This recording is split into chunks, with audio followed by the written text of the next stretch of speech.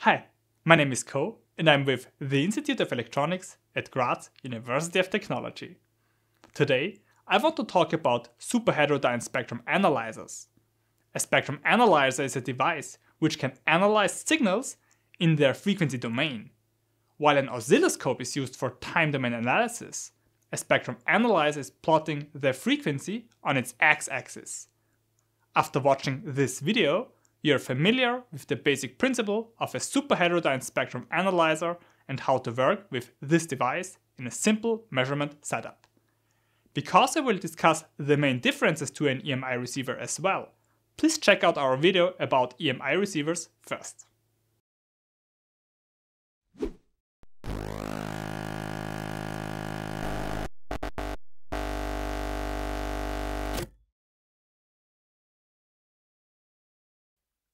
A spectrum analyzer is used to analyze signals in respect of their composition of frequencies.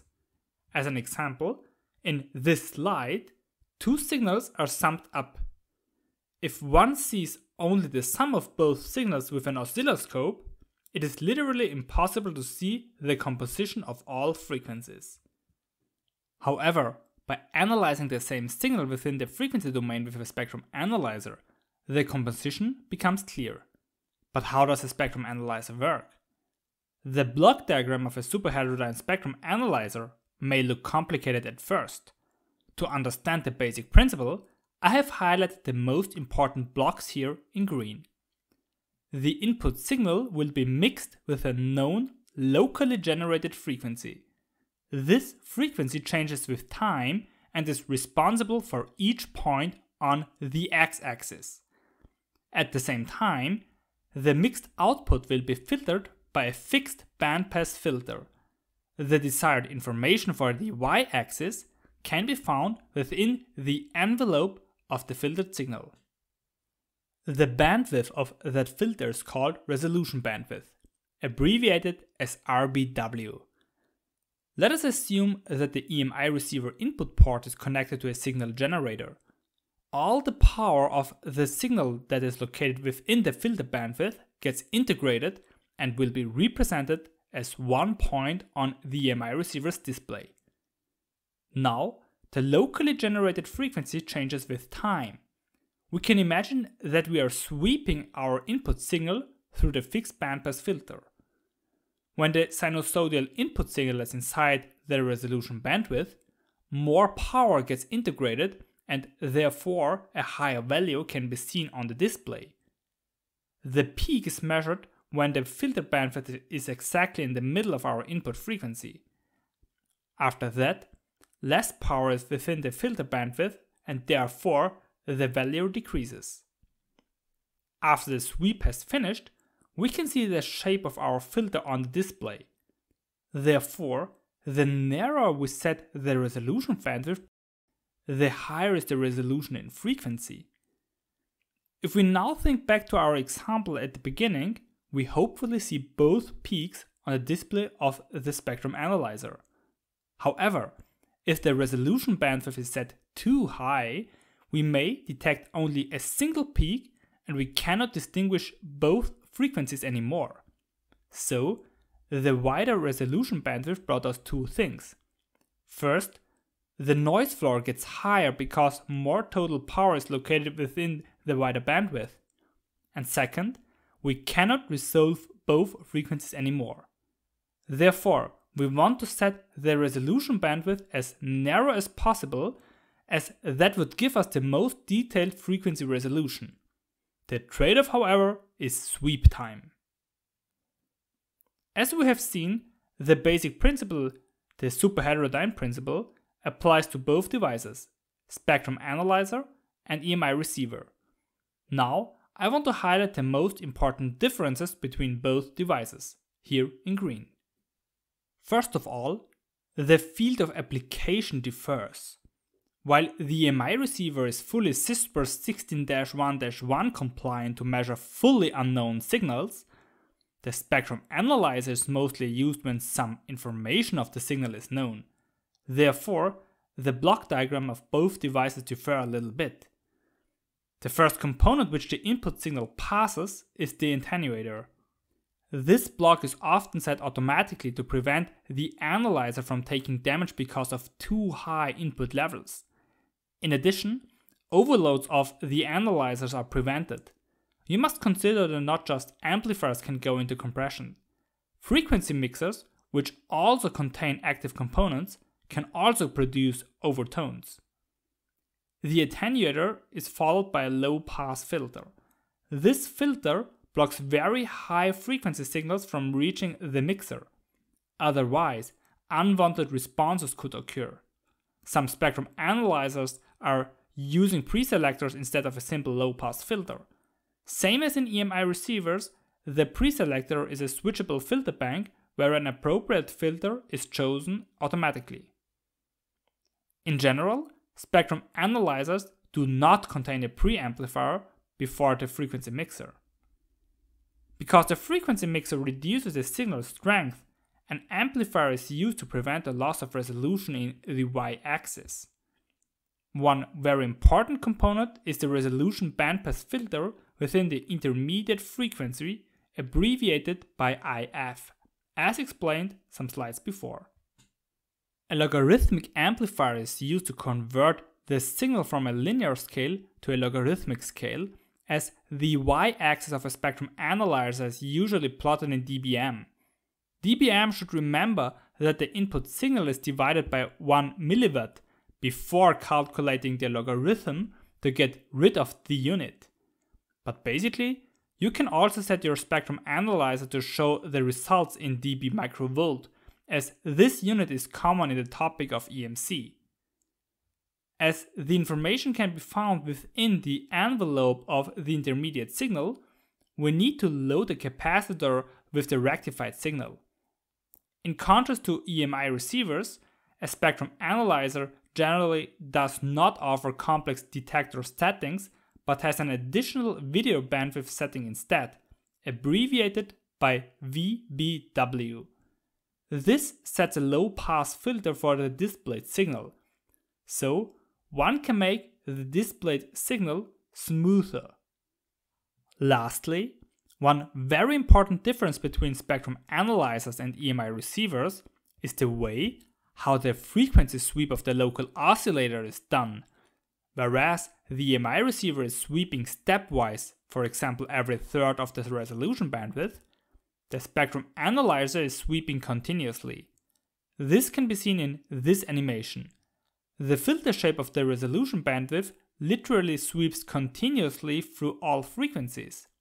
Please remember that in reality not the filter is tunable, but the signal frequency is swept by the local oscillator when using superheterodyne devices. The stepwise sweep of an EMI receiver can be seen in this animation. Here, the filter shape jumps every half of the resolution bandwidth.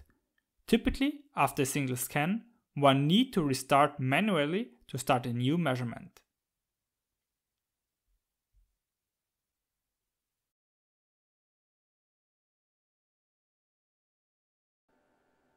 Okay, we are now here in the lab and I want to show you how to work with a spectrum analyzer, so with this device here.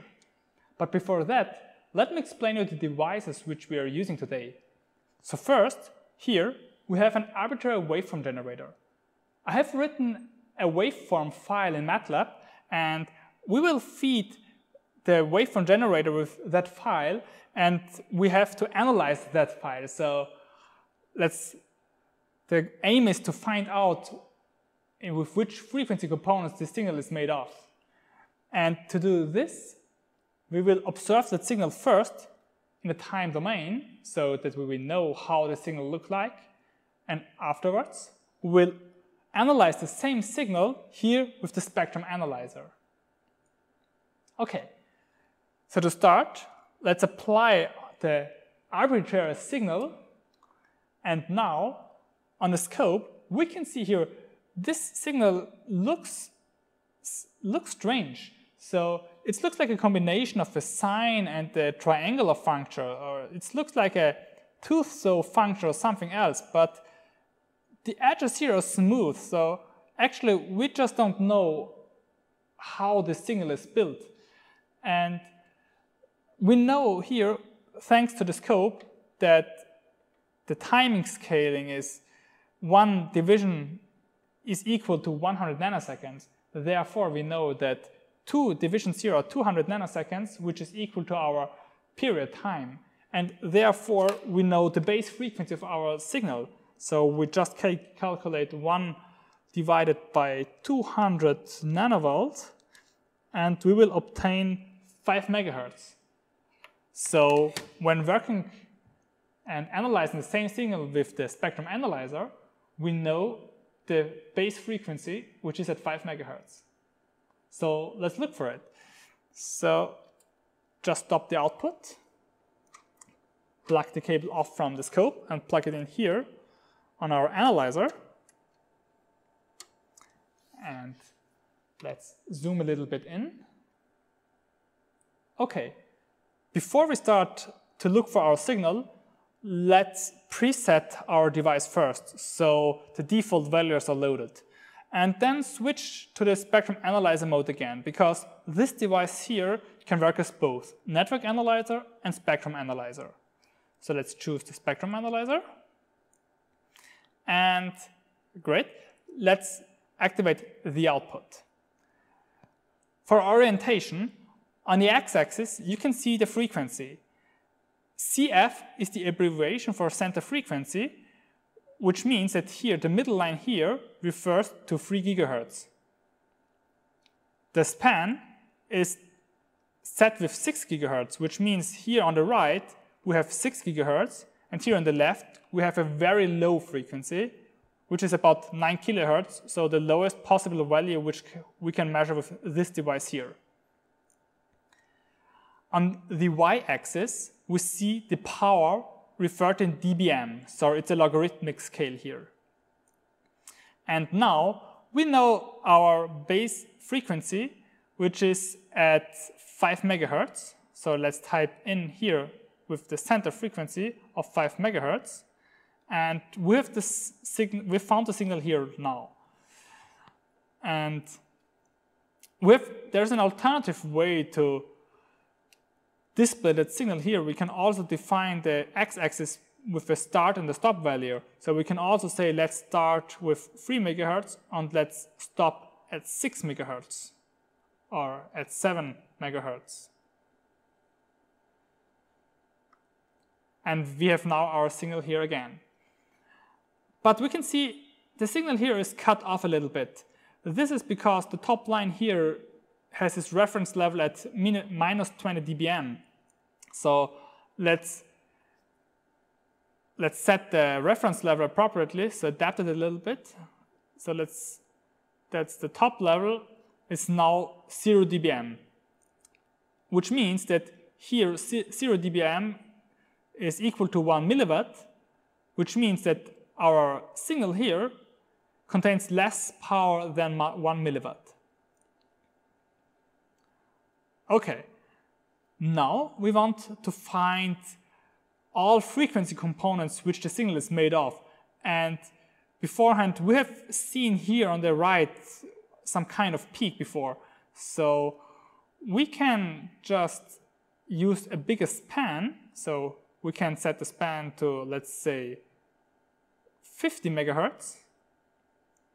And now we can see here that in addition to our base frequency here at 5 megahertz, there is also another signal component here. And now for a better display, let's set the frequency in another way. So let's say that the start frequency should be at 3 megahertz and the stop frequency should be at mm, 12 megahertz.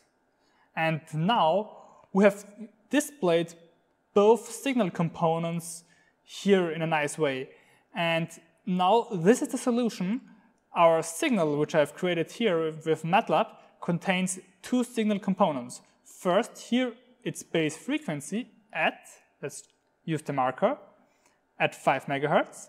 And another frequency component here at, let's look for it,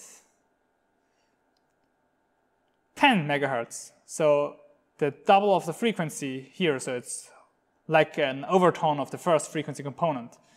And we can see here that the second peak here contains way less power. So please remember of the logarithmic scale here. So the first marker here says that our signal contains about minus 3.5 dBm, and the second one minus 18 dBm. So it's way less power, although it does not look like that's so much less power here. But the logarithmic scale makes it a big difference here. And now I want to show you some important um, options here. The most important one is the resolution bandwidth. So we can, so basically it's set automatically. So resolution bandwidth is set automatically, but we can also set it manually. And we will see if we'll narrow the resolution bandwidth. So if we decrease here the number here, then the resolution in frequency becomes finer. So the peak becomes, um, can be seen here better. But the trade-off can be seen here. So the sweep time here is, um, it does take way longer time for a whole sweep here. And you can also see here, if you take a look here on the noise floor, now it's decreased, and if we are now widen the resolution bandwidth again, the noise floor also increases because more power is then located within the filter bandwidth. Another setting is here the video bandwidth. So most of the times it's sufficient to set the video bandwidth automatically, but you can also um, choose this manually. And this video bandwidth is some kind of a low pass filter of the display signal here. So if we narrow that filter bandwidth, we can see that here on the noise floor, this becomes more flattened. So the displayed signal here, it's like a voltage which must go through a capacitor here. But the trade-off here is once again sweep time. And this can be seen here on the top. So here we can see the three main parameters First, the resolution bandwidth, which is set with 30 kilohertz now, the video bandwidth, and the lower we will choose those two values, the higher the sweep time gets. So now a full sweep takes 5.6 seconds, and if I will set the video bandwidth now automatically, then the sweep time just takes 10 milliseconds. So one full sweep from here to here just takes 10 milliseconds. So that's it. I hope you've liked the short introduction on how to work with a spectrum analyzer and that you have learned something new. But anyways, thanks for watching.